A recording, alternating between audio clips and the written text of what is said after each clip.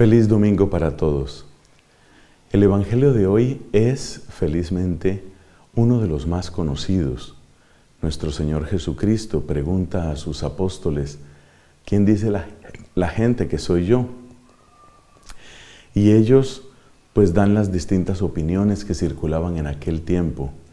Luego les pregunta, ¿ustedes quién dicen que soy? El apóstol Pedro, como hemos oído, dice guiado por el Espíritu Santo, la respuesta correcta. Tú eres el Mesías. En esta oportunidad quiero destacar lo que sigue a la respuesta de Pedro. Según nos cuenta el evangelista Marcos, lo que sigue es que Cristo se pone a contarles que el Mesías tiene que padecer, que el Mesías tiene un camino de sufrimiento, un camino que como bien sabemos llega hasta la cruz, hasta la sangre, hasta la muerte.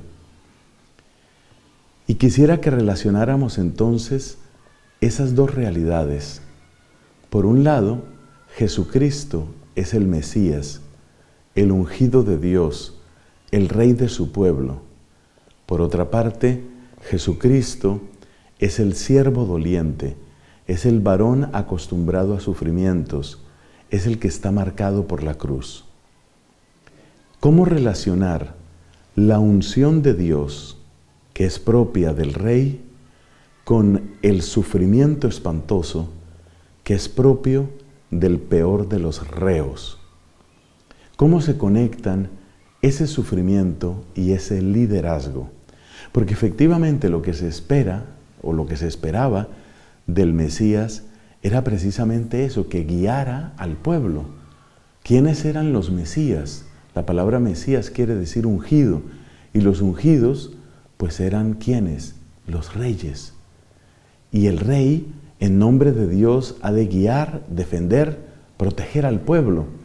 Entonces, ¿cómo se une aquello de guiar al pueblo y sufrir? Pues ahí es donde está precisamente el corazón del mensaje de hoy y donde está el corazón del servicio que Cristo presta. De hecho, la imagen que los apóstoles tenían sobre el Mesías era muy distinta. Con toda probabilidad, ellos se imaginaban un Mesías victorioso, glorioso, tal vez con el esplendor que tuvo el reino de Salomón, tal vez con la fama perenne, milenaria que había alcanzado David. Ellos imaginaban ese tipo de Mesías, pero Jesús les presenta una realidad totalmente distinta. El Mesías del que está hablando nuestro Señor, el Mesías que es Él mismo, es el que pasa por el dolor, es el que pasa por el sufrimiento. ¿Por qué entra el sufrimiento? ¿Dónde entra el sufrimiento? ¿Y de qué manera el sufrimiento puede ser guía? ¿Por qué puede ser guía para nosotros el sufrimiento? Si nos damos cuenta, el sufrimiento no es cualquier sufrimiento. No es simplemente que estaba metiendo una puntilla en mi habitación y me golpeé el dedo y estoy sufriendo. No es cualquier tipo de sufrimiento. Es el sufrimiento que corresponde a la lucha contra el mal.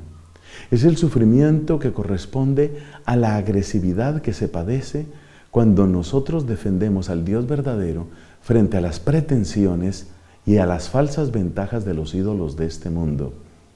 Es decir, la gran batalla de este Mesías, la gran batalla de este rey, es la batalla contra la idolatría, contra el pecado.